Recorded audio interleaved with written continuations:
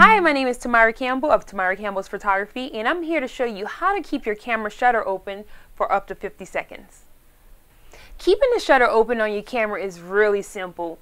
All you have to do is go to the shutter feature on your camera. Right here I have the Nikon D300S which is one of my favorite cameras.